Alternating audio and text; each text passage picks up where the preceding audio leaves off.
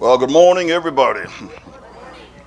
Good morning on this Sunday morning, one week before Christmas. Amen. You know what a great song. I always love that song when you sing it.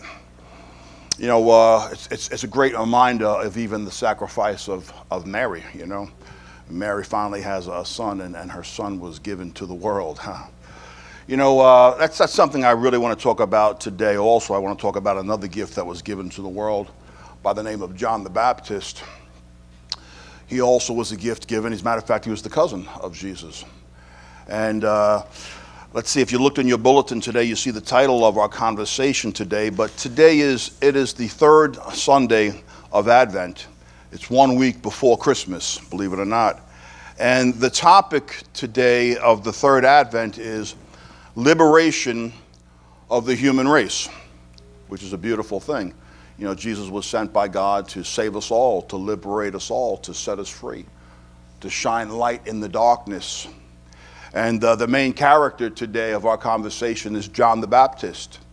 John the Baptist is one who received the call. As a matter of fact, I, I, believe it was his, his parents before him that received the call for him. Remember when, when um, um, uh, Zechariah was going to have the son, and the angel appeared to him and said, uh, uh, Your son shall be called John, not Zacharias, um, because he was going to do something new and something different. And he was absolutely called by God. Called by God. And I, I believe that everyone sitting in this room is, is called by God. And I believe that we all have different kinds of calls upon our lives. Some are absolutely called to give their lives completely, like Jesus, like John the Baptist. You know, they both died in their 30s. They fulfilled their call entirely, but they, they, they gave their life entirely to the call. Is, is that extraordinary? I consider it to be extraordinary. 30 years old. Um, I think of, was it Hannah that gave her, her son to the Lord? Samuel she wanted a boy, a, child for so long, and she finally had a child, and God called her to bring that child to the priest, and, and, and Samuel was raised in the church. Samuel lived to be an old man. he didn't live in his 30s, but he lived to be an old man, and he watched over the nation Israel. He gave his life entirely to the call of God. And I do believe that there are some in this room today that are called uh, with a special calling because someone has to carry on the work, amen?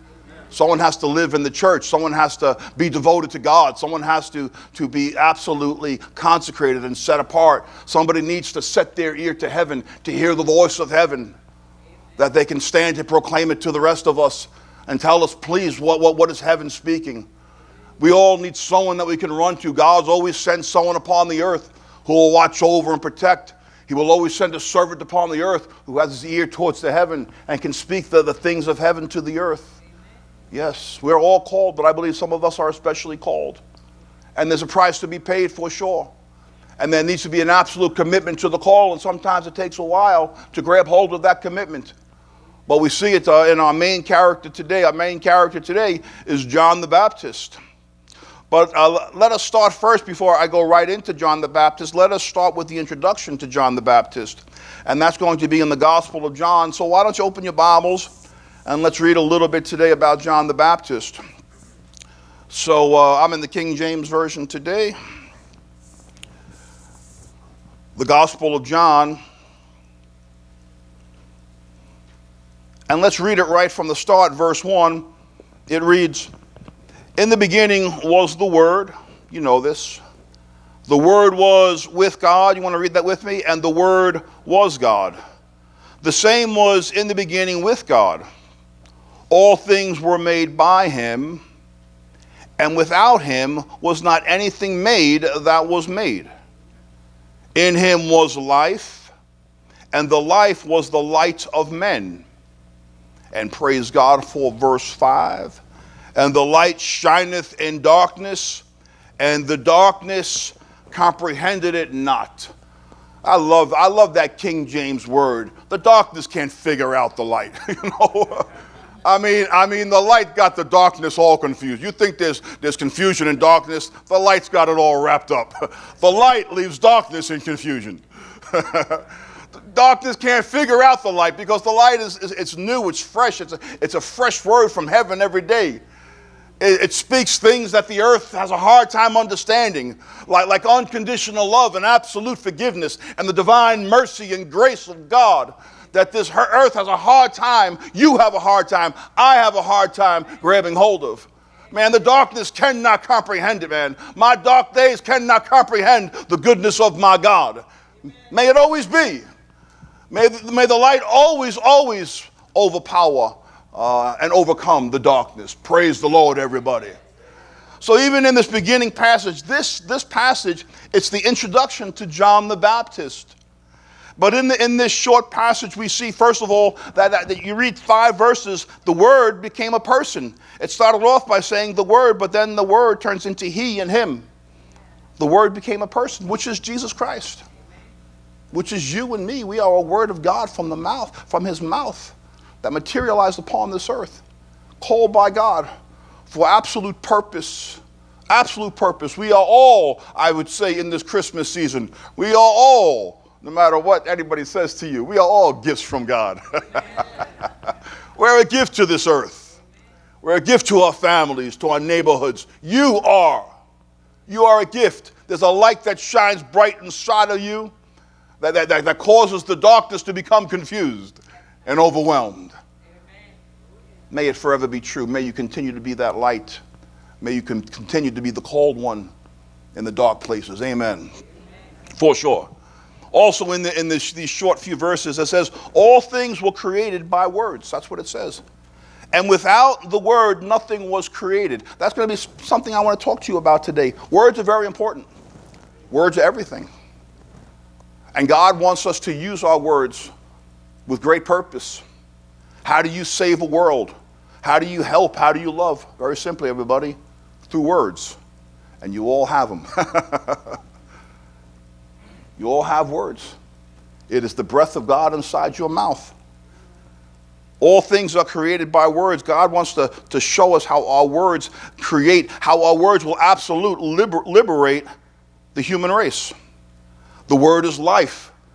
You ever hear scriptures like this death and life and the power of the tongue. You know that you can go into places just speaking words and you can change atmospheres.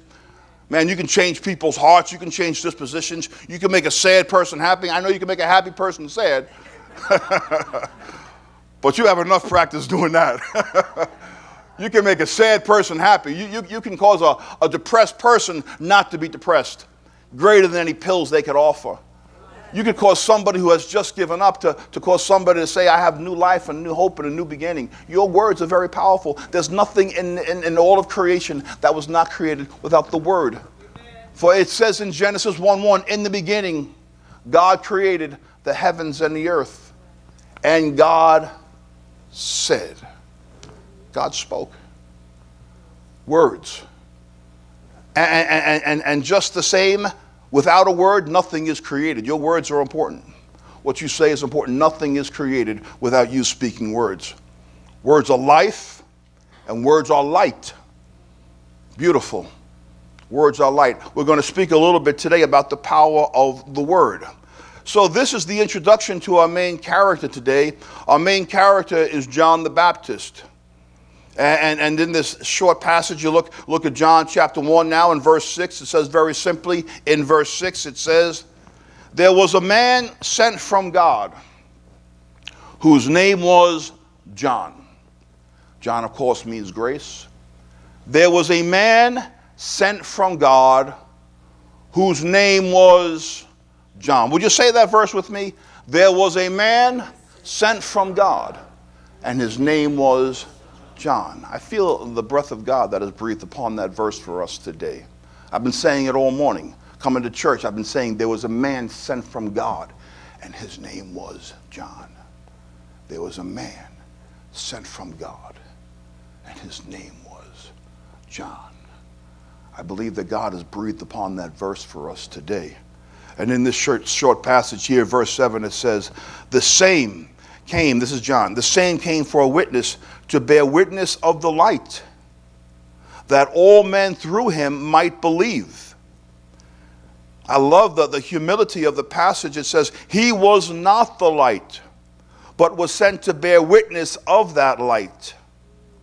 That was the true light, which lighteth every man that cometh into the world. How many? Every man, every human that cometh into the world. He was in the world, and the world was made, what does it say? And the world was made by him, and the world knew him not. My goodness, everything that was made was made by the Word of God. But yet, still, somehow, creation and the world itself feigns knowledge of God. As if, as if our God is not the most important thing. As if our God is not the breath that we breathe and the air in our lungs. As if there's anything else in life but God. He is everything. Yet, yet the world that was created by him, people that were created by him, it says he came to his own, and his own knew him not. Have you ever experienced something like that? Have you ever experienced a love of God or a love for the things of God and you want to share that with someone, but someone just doesn't really, doesn't interested, quite honestly? It's like you go to your own, but your own does not know you. Like we're, we're both brothers and sisters, sons and daughters of the same God. He came to the, to the world, and, and it says that the world knew him not. How could that be? So the world knew him not. He came unto his own, and his own received him not. But look at that beautiful, powerful verse that follows. Verse 12 says, But as many as received him, to them gave power to become the sons of God. You can add daughters if you like, but we're all the sons of God. It's gender neutral even to them that believe on his name, which were not born of blood, which were born not of blood, nor of the will of flesh, nor of the will of man, but of God, to them that believe. I want you to know the power of the word and the power of the word received. God can speak a very powerful word into your life, but if you don't receive it, it has no power. Scripture says if you believe it, you have the power to become. What do you have to do in regard to the Word of God? You just got to grab hold of it and say, That's mine. I want that. Well, then take it, it's all yours. Because those who believe they have the power to become the sons of God. You and I, we could all sit under the same word, and some of us could get go home just bored out of their minds, and some of us could get home receiving the power of God knowing that, that you have been called and sent by God. You see, John the Baptist knew he was sent by God. The introduction to John the Baptist says what? I, I asked you to read that verse with me. It says, There was a man sent from God, and his name was John. That's going to get that right there. you see, John knew he was sent by God. He knew it from the day he was born till the day he died. Although he died in his 30s, from the day he was born to the day he died, he knew. He was not one of those who had Jesus dwell among him, but he did not know him. No, he was the one person on earth who would declare him. He was the one to give witness. He was the one to say, hey, hey, hey, everybody, there is the Son of God. How did he know that? How did he live in a world that was created by God, but yet only one man knew him at the time? One man knew him at the time, and God chose him to introduce him to the rest of the world. Because he was born and created and, and, sent and called by God for that one very purpose. And then finally, when, when Jesus Christ rose up on the scene, he says, Behold, the Lamb of God that takes away the sins of the world. And from that point forward, he says, I must decrease and he must increase. And he lived a short time after a short time after, and his work was done. What a sacrifice for the call of God. Oh, my goodness. Will you accept the call? Will you be the one that hears the word and receives the word? Because to those who receive the word of God, to you he will give you the power to become the sons of God. To you who receive the word that is given. Amen. Yeah. Amen. So this is John the Baptist here. John the Baptist. John the Baptist was a prophet. He announced the mission he had, and his mission was very simply it was to, to liberate the human race. It was to free the human race of sin, of darkness.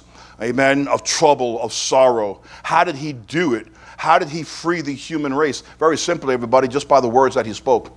I want you to know the power of the word that introduced him, the power of the word. How did he save the human race? He just he spoke.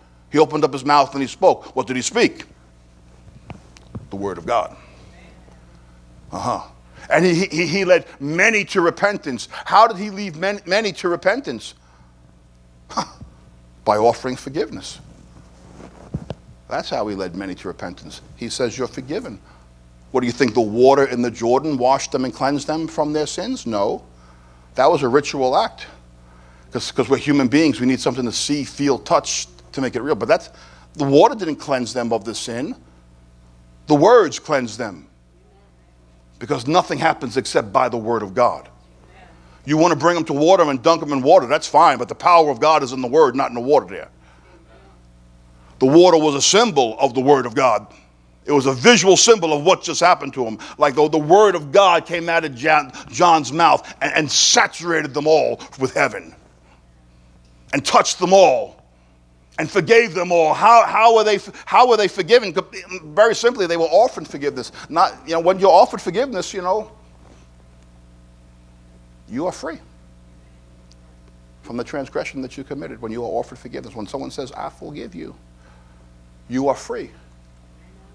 John the Baptist came to liberate the human race by offering forgiveness. Huh. Not to tell them of their sins. We all know our sins. You don't, don't, don't need you to tell me my sins. You don't even know half of them. You're going to tell me of my sins? Give me a break. You have no clue what my sins are. They're greater than you think.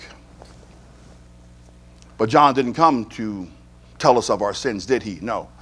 No he came to tell us of the mystery of the light which overpowers the darkness. What was the mystery of the light that the darkness cannot comprehend? Very simply, you're forgiven, you're loved, you are the child of God. And to as many as believe that, receive that. If you believe that you're forgiven, you have the power of God in your life, of a forgiven life. Would you like to receive that? Say yes. Anybody want to receive it? Say yes. Yes. I, I could shout that all day long. Yes, I receive that. It's that simple. I'll take it. yes, I receive the Word of God. I'll receive it now and I'll receive it again when I forget it. And I'll receive it again and again and again as often as I'm reminded of it. I will receive it again and again. Amen, everybody. Yeah, John the Baptist, he knew what his mission was. It was to liberate and set man free. Praise God. The Gospel of John portrays John the Baptist as a person who knows very well who he is. See, John the Baptist knew who he was. He didn't waver back and forth. Sometimes in life you don't know who you are and what your purpose is and what your meaning is. But I pray that God give you some kind of solidarity in your soul, some kind of unshakableness.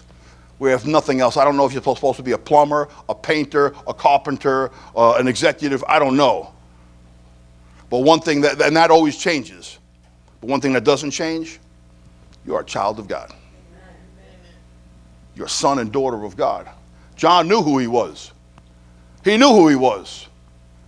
He knew why he was put upon the earth to set man free, to proclaim the Christ, if you will. He knew his call. And I dare to say that it's the call for us all, but some of us don't know it. Like God is among us and we don't even know him. Right? He came to his own, and his own knew him not. But as many as believed received the power. Amen. As many that, that, that, that believed received the power.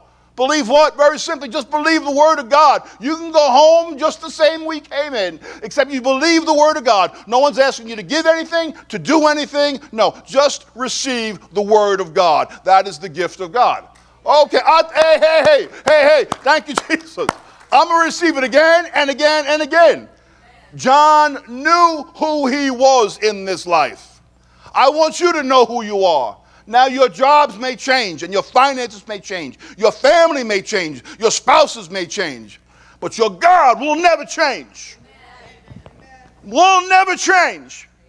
No matter what on this earth changes, you will always be a son and a daughter of God. And the only reason why you're upon this earth because He called you and He named you, and you do have divine purpose. Whether you live 30 years or 100 years or even less than that or longer than that, You have divine purpose. Amen. And John knew that. John knew that. There was a man sent from God. His name was John. Amen. There was a man sent from God. His name was John. You know what I'm fascinated with is John was a great man. John the Baptist was a great man. He was the greatest of all the prophets that ever prophesied. We are told by heaven that he was greater than Isaiah. He was greater than Jeremiah. He was greater than Elijah, the prophet of fire. He was greater than them all. John the Baptist. Yeah. And Jesus wanted him that way. His father would go to church and, and, and faithfully serve in the church, but he went to the wilderness and he went to the desert, and everybody left the church to go follow him. They all left the churches to say, Where's, he, where's this guy taking us? He took him to the river. He was a strange guy, right? They say he wore some kind of rough clothing and he ate some kind of rough food, and he was a strange guy, real strange guy. But there was something about him Everybody in church left to go see, and that's why the, the, the, Jerusalem finally sent the, the priests, said, This churches are empty. Go down to the river and find out who this guy is, man. He was so great. He was so great. But when they asked them, when they finally came and asked him and say, John, who are you? He said very simply, I am not the Christ. He said, Really, I'm no one. You think I'm great? He says, I'm no one and nothing compared to the one whom I am called by. For the one who comes after than I is mightier than I. He says, I'm not even worthy to be his servant, his slave. I'm not worthy to unlatch the sandals of his shoes. You think I'm something? you ain't seen nothing yet. You ain't seen nothing yet. The Christ. extraordinary. That's how great Christ is in our life. I love the fact that he sent someone great to introduce him. Although, although the way the priest began to interrogate John, you know, the, the, the priest came to find out who John was, and, and, and they thought he was a crazy man, you know. They thought he was a crazy man. He ate locusts. He ate hunt. Well, I don't know. never really had locusts. Maybe some of you have tried, but I personally have not tried locusts. I know Bear has tried. He'll try anything. Uh, I mean, he works on a pirate ship. I mean, he, uh, but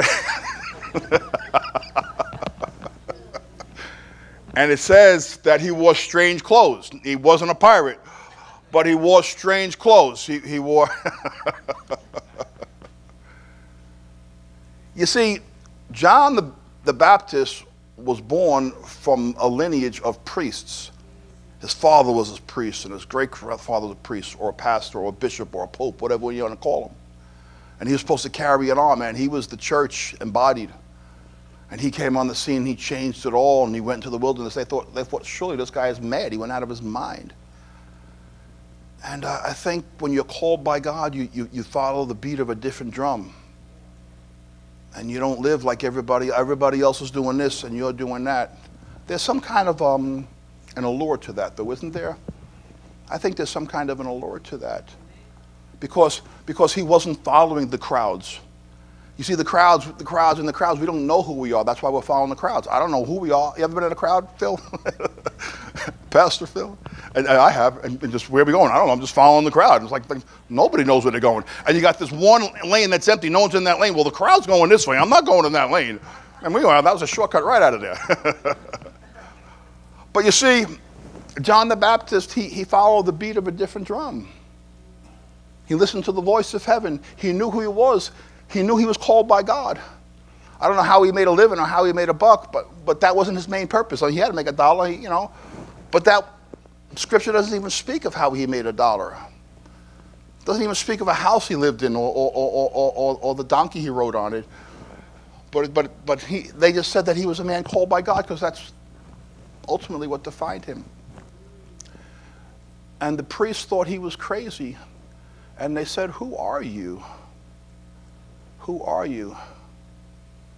I still believe that as followers of Christ, true followers of Christ, we are supposed to be peculiar upon this earth. I do not believe you're supposed to fit in with this world. I do not believe you're supposed to do what the masses do.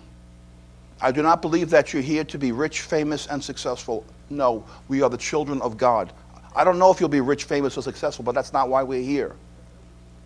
We're called servants of God. we have been called to liberate and save the human race. What is more important than that? Amen, everybody. John knew who he was and he was not swayed from it. You know, that one moment in prison, he was swayed. Remember that one moment in prison, Pastor Phil, when they were going to cut his head off? And, he's, and, and, and, and the disciples went to see him. What happened? What transpired? He says, Are you the one? Are you the one? When he, when he gave his life for Jesus Christ and, and they were going to cut his head off because of it, he had that one moment and said, Are you, are you the one? I want to make sure I'm dying for the right person. Are you the one? Or should we look for another? And Jesus answered him. He said, Tell John. Tell John that he was a true faithful servant. Tell John that the blind see, and the lame walk, and the dead live again. Yeah. Tell John. Tell John he did it right. Tell John he did it right in his life. Amen, everybody. John the Baptist, called by God, and he knew it. And he knew it. Let me read this next passage, John chapter 1. Let's read them, some more of these verses. Let's do verse 9 here. And this is the record of John. When the Jews who were sent by the Jews sent priests and Levites from Jerusalem to ask him, Who are you? They were asking John the Baptist, Who are you? And he confessed and, and denied not, but confessed, I am not the Christ, right? And they asked him, What then? Art thou Elijah? And he said, I am not. Art thou the prophet? And he answered, No. They said unto him, Who are you? Didn't even recognize him. Who are you? I don't know anybody truly called or, or sent by God. Who are you? That we may give an answer to them that sent us. What sayest thou of thyself? And he simply said, John the Baptist simply said, you know what he said? He said, I, it's right there, guys. I am the voice of one crying in the wilderness. Who are you, O mighty man? Who are you, O crazy man? Who are you, O strange one? Who are you, one called by God? Who are you? He says, I'm not the one. I'm not crazy either. He says, I, among, among us all this day, and perhaps the only one who knows who he is. All of you Levites and priests and, and, and, and sages, and you don't even know who you are or why you are. He says, I know who I am. He says, I'm a voice of one crying in the wilderness, make straight the way of the Lord, as said the prophet Isaiah. He knew who he was. I'm a voice. And I must say when, that we are all called to be a voice. I say we are all called. I, I, say some to more dedicated measures than others, I must say. Some of you will be called to live in the church. Some of, you, some of you will be called to go to church, and some of you will be called to open up the church doors. Amen. Uh-huh. But we are all the voice. He said, I am the voice. Why did he say, I am the voice? It's the power of the word. He knew the power of the word. He says, I'm a voice. He says, You can listen to my voice, and if you receive the words, you receive the power to become. I'm a voice. And I think the encouragement from John the Baptist to us all, again, in the calling, however you see the calling, you could be called to, to, to, to uh, work your, your, your, your jobs as it is, or you might be called to leave your jobs as they are. I don't know. But you're still a voice, wherever you are. And what, what's the voice? It's, it's the Word of God, because nothing is created without the Word of God. You are a voice, man. You are a voice that, that gives life. You are a voice that gives forgiveness. Know who you are I would say, for crying out loud, know who you are and know why you are. Know who you are. Know that you are called by God. Wherever you are, wherever you find yourself working or playing or relaxing, you are called by God. Wherever you shop, whatever you do, you are a voice. You are a voice crying out in a wilderness. Man, people, the world, the human race is desperate for light, for liberation, and you are a voice. Wherever you are, you are a voice shouting out in the wilderness. You are the voice. Speak a word. Nothing is going to happen in that person's life unless you speak a word. For nothing can be created without the word. Nothing. You are a voice to speak forgiveness, love, truth, righteousness. Amen. Tell someone they're a child of God. Tell someone they're loved. Tell someone they're beautiful. Tell someone they're forgiven. Tell someone. You are the voice. John knew who he was. He knew he was sent by God. And it was simply just a voice, but that voice liberated the human race. You are a voice.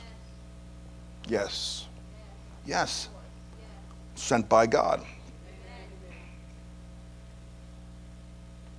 Hmm.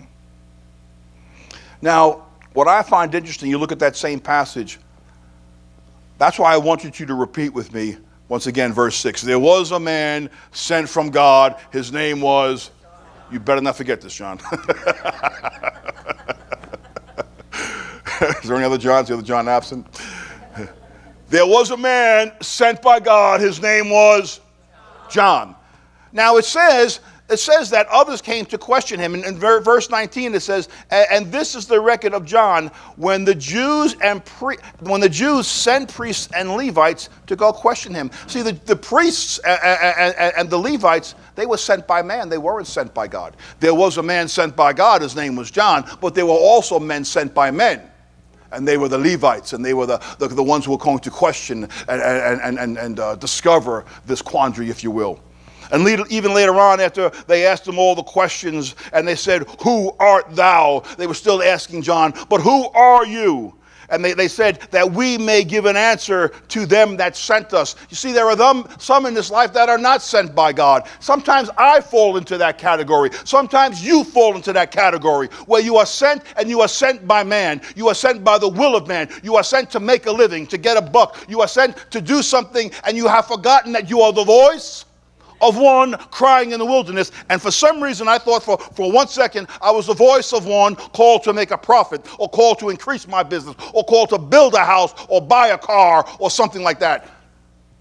And, and, and sometimes I forget that I'm called by God and not by man in this life. And, and, I tell you what, when I think I'm called by man, I'm lost. I really don't even know who I am. I don't even know who I am. I believe that I'm supposed to be whatever you say I'm supposed to be. You say I'm supposed to be successful? Okay, let me try to be successful. Because why? Because man told me to be successful. Man tells me I'm supposed to be rich, and I'm going to try to be rich. Man says I'm supposed to be, I don't know. what am I supposed to be? Responsible. So now I'm going to try to be responsible. Lord knows that's not going to happen. The Lord knows that's not going to happen.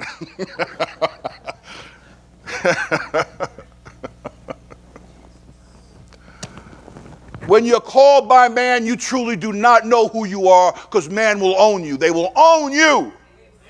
And you'll be confused and you'll chase everything. You'll, you'll chase the wind. But the one who is called by God, he is the only one in this whole scene, this whole scenario, the only one who knew who he was. He says, I am one called by God, sent by God. Whatever else I do in this life does not matter. I am the one sent by God, and I got to speak to somebody today. I got to be a voice to someone today. I got to give somebody something today. I am called by God. I know we're tempted to live this life. I know we're tempted. Sometimes we're tempted to leave the call of God and to follow other things in this life. I know we're tempted. I know we're tempted. But this world, mm, this world where we're sent to to liberate, to bring freedom, to give, to give life and light, you are the light in the darkness. You are the life given to all, all of the human race. That is who you are. And we forget it. And then we become frustrated with life and drained by life and betrayed by life. You will never be betrayed by God. Never. He will always be your God. He will always love you. He will always protect you. He will always be your best friend. He will always be on your side. He will never leave you or forsake you. Why do we dare follow the foolishness of men, of their betrayals and their hard, hard life that they want to put on us? Why? Why? Why? Because we don't know who we are. When you don't know who you are, you're chasing everything and you're never happy. Amen. And you never will be. Until you say, until we all say, there was a man sent by God and his name was. No, no, only John can say that. You got to put your name in there now. there was a man, there was a woman sent by God, and his name was Michael. Put your name in there. I'll give you another shot. There was a, a person, a man, a woman sent by God, and their name was Michael. You need to know who you are. Nobody in that scene knew who they were. They were sent by men, they did not know who they were. But when you're sent by God, you know who you are. I know, I know who I am, and I know I am. That's right. And that will never fail you. That call will never fail you. Will never fail you. Mm-hmm. It's true. Yes. Yes. John was sent by God. The Pharisees were, they were sent by man. What about us? Who were you sent by? When you go into the world Monday morning, who you sent by? Just think about it. Just, okay, oh, you can answer me too. Those are good answers. God. God. Who were you sent by? When you get up tomorrow morning and you go, who are you sent by? Your boss? Your husband? Your wife? Who are you sent by and what, and what are you going to do that day? I'm sent by God to give the word of God. I don't know about the rest of the day, but I know that's true. The rest of the day is questionable and it's outside of my power. I might become a, a successful millionaire or I might be broke as a joke and lose everything. I, I don't know. But I know this I am a voice of one crying in the wilderness. I know this. I, I, I know this. Though the mountains fall and, and, and the seas dry up, I know that I am one sent by God. Mm-hmm. John the Baptist was the only one who knew who he was. Everyone else was sent by man. I don't want to be sent by man. And sometimes the one that sends me is me, and sometimes the one that sends you is you. Because what you think you're supposed to do, what you think you have to do, because of the, I don't know, the riches of this world perhaps, that we want so, so badly. Why? Why? I understand why, but I just, just got to ask him why. Not at the cost of losing who you are. Everything that's true and sure and right. So, who tells you what to do? And you must always recognize this it's riskier to be sent by God. It's riskier to be sent by God. But it's sure and it's true. That's why in John the Baptist's last days, he said to Jesus, he said, he says, are you the one? Or do I look for another? And then he gladly gave his life. It said, for the joy set before him, Jesus went to the cross. I, I pray, I ask God that we would learn to gladly give our life for Christ. That we would know that's the most beautiful thing in this world that we are sent by God. May we trade it for nothing. May you trade it for nothing. Because there's nothing but emptiness to trade it for. Who was it, Pastor? Who was it that traded his birthright for nothing? Is Esau. He traded his birthright for nothing. Amen, everybody. Yeah. Who are you? What we got over there? Got some noise you need to shut down? Oh, that's the back room there. Is that, is that the children back there? Hey, that's the children back there. yeah, let them be taught and trained of God. We all need to go in there for a second. yeah, some of us need to start all over, man. You're not start all over. That's good. That's good. So John 1.13 says this, which was born not of blood, nor of the will of flesh, nor of the will of man, but of God. I want you to know this. You are not born by the will of man, you are born by the will of God. You were put upon this earth for, for great reason, everybody. For great reason. Who are you? I pray that you would know who you are. I am a man, I am a woman sent by God, and my name is John. Say that to yourself. I believe that verse is touched by God. There was a man sent by God, and his name was John. You, you could just say that verse if you want. You could use your name, it makes no difference. I, I prefer the King James Version. There was a man sent by God. I will say that, and his name was John. There was a man sent by God. No one else knew who they were. They didn't know who John was. John knew who John was. I'm a man sent by God. I'm the voice of one crying in the wilderness. I am one voice. What saved everybody from that sin that day? What caused everyone to, to repent that day? Not the water. The water cleansed nobody. The words that John spoke because they were the words of God. The words cleansed them. The words that John spoke brought light, brought life, and left the darkness in a quandary. Nobody could figure him out. That's kind of beautiful, don't you think? That's kind of beautiful. I end with this, everybody. You ready? There was a man sent by God, and his name was John. God bless you all. Praise and worship team. Why don't you come on forward? All right, why all stand? God bless you.